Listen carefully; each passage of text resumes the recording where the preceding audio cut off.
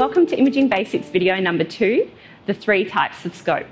My name is Kate and I'm one of the clinical educators here at Olympus OAZ. For the past 10 or so years, I've been working in the hospital and OR environment, and so I've seen a lot of different types of scopes to be used. I understand that all of these different types of scopes can definitely be a bit confusing. So this video is designed to try and help simplify the many different types of scope by categorising them into one of three types. The three categories of scopes that we'll discuss in this video will be rod lens, fibre optic and video scope. Let's start first with the rod lens telescope.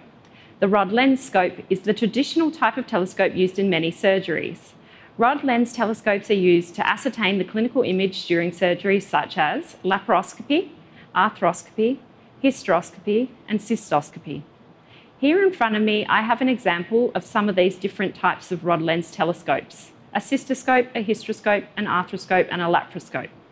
Can you see any similarities between these examples of rod lens telescopes? Well, probably the most obvious similarity is that they're all rigid. This is because they're all filled with glass rod lenses, spacers, and achromats, capable of transporting excellent quality images. Each and every rod lens is laid with precision so that the image can be relayed to the viewer without any image distortion. Precise arrangement of each lens within an Olympus telescope is patented technology and is painstakingly laid by hand in Germany. The lens system is then sealed by three stainless steel tubes for optimal durability. Each rod lens telescope also has a fibre optic bundle running from the light post to the distal tip, lighting up the surgical field. And although these rod lens telescopes come in various diameters, lengths, and angles, each rod lens telescope can essentially be labelled with the same parts an ocular, a light post, a system tube, and an objective lens. A sapphire is used for the objective lens, providing optimal strength and scratch resistance. So rod lens telescopes share the same components, but are manufactured in a range of different diameters, lengths, and angles, depending on their intended use. The larger the diameter of the telescope, the larger the optics, which means larger rod lens scopes are typically capable of bigger and better quality images. So what does this mean from a practical perspective? This means that for more complex cases in larger cavities, you'll probably need to use a larger diameter telescope. For example, this 10mm laparoscope, which would be the standard during complex lap cases. You also need to be aware of the direction of view required and how to select a telescope with an appropriately angled lens. This is especially important because, of course, the rigid scope cannot bend to accommodate different tissues and angles. So the only way your perspective into a space can be changed is through the angle of the lens or the placement of the telescope into the tissue. And a rod lens telescope on its own isn't much use, with no light and no way to digitise the picture. So don't forget that you need a camera head, light lead and tower in order to use your rod lens telescope. So once you have a top quality imaging chain in place, connect and handle all components with care. Remember that all those glass lenses are fragile Train your theatre staff to avoid exposing telescopes to dropping, banging, bending or crushing. But if handled with care, a rod lens telescope can potentially produce an excellent quality image for years to come. It is a versatile option, appropriate for many different surgeries, the workhorse of endoscopic surgery, capable of excellent image quality. So now that we've had an overview of the rod lens telescope, Let's consider that for some procedures, there may be a natural orifice or passageway which the operator can use to gain access into the cavity. Where possible, a clinician may prefer to use one of these natural entry points in order to reduce trauma to the patient tissue. This can reduce risks of bleeding, scarring, infection, and pain experienced by the patient. So, for some cases, it can be ideal to use these natural access points. But of course, these natural orifices are rarely in a straight line, and they are often delicate tissues and mucosas, such as the airway, nasal cavity, and the urethra. So you can imagine a rod lens or rigid telescope might not be suitable to access these cavities during more minor procedures, especially where heavy anaesthetic is not warranted. This brings me to the second type of scope, fibre optic. Fibre optic endoscopes allow clinicians to use a flexible instrument to navigate and view patient tissues. Fibre optic scopes use a fibre optic bundle to transport the image instead of rod lenses. This fibre optic bundle may sound similar to the bundle that carries light in our light guides and alongside the rod lenses in our rod lens telescopes, but this fibre optic bundle is different. This bundle carries the image in these fiberscopes and is called the optic bundle. This optic bundle is highly organised or coherent. So each fibre starts and ends in exactly the same order at each end of the telescope. Unlike light bundles, optic bundles need to be organised like this, otherwise our picture would become completely jumbled. In fibre optic scopes, separate to the optic bundle, there is still a light bundle to deliver light into the surgical field. Each fibre in both the optic bundle and the light bundle of a fiberscope is made of specialised coated glass. Each tiny glass fibre is about one tenth of the size of a strand of human hair. The glass fibres have to be thin like this so that they can be flexible and minimise trauma to the patient mucosa. But of course, these tiny glass fibres are fragile and will break with time of scope use and if twisting, excessive bending, or pressure is applied to the tube.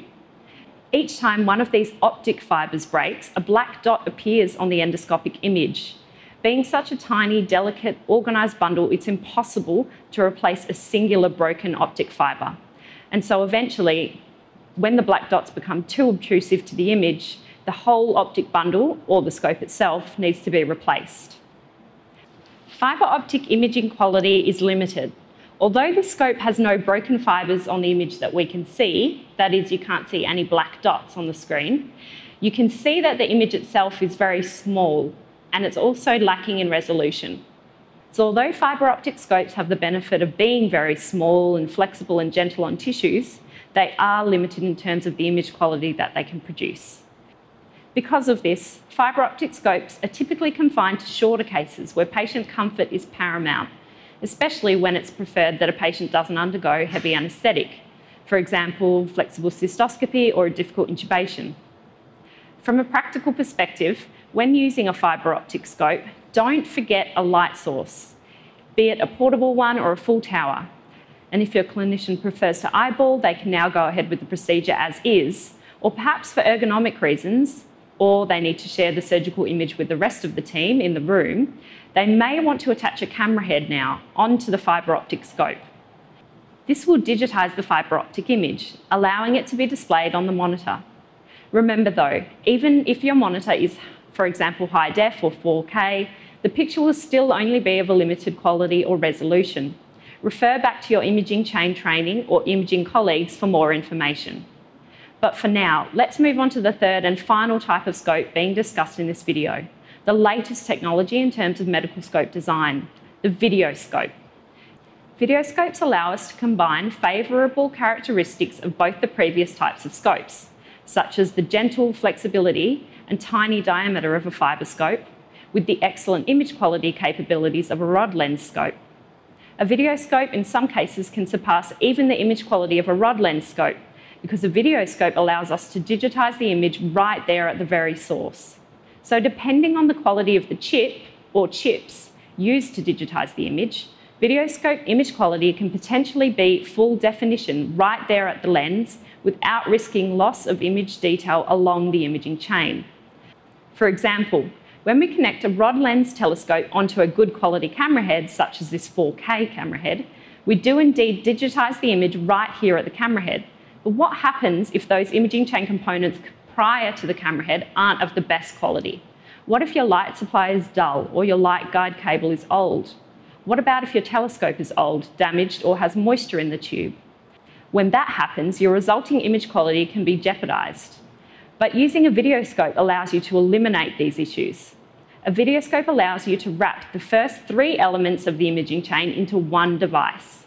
So your telescope, light bundle and camera head are all wrapped into one complete scope. We plug our video scope into the compatible processor and light source and power up, ready to view our subject, such as this apple.